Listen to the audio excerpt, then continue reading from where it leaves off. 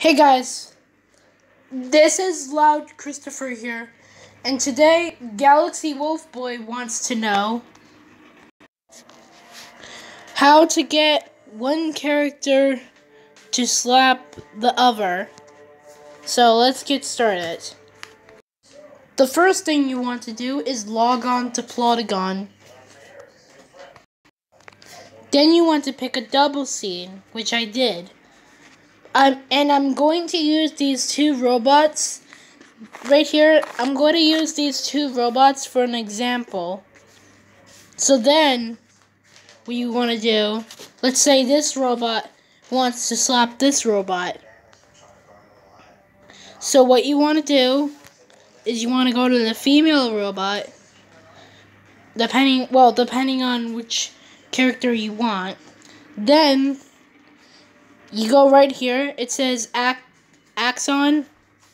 Right here it says Actions. So you click on that, and it shows you what, um, how um, you can touch the other char character. So, and obviously you want to know how to slap them. So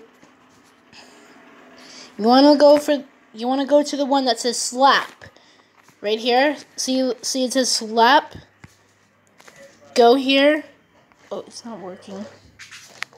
Go here. I actually meant the I actually meant the Oh yeah. So just slap. So just slap and it's even better with the sound effects that you can do such as the high five.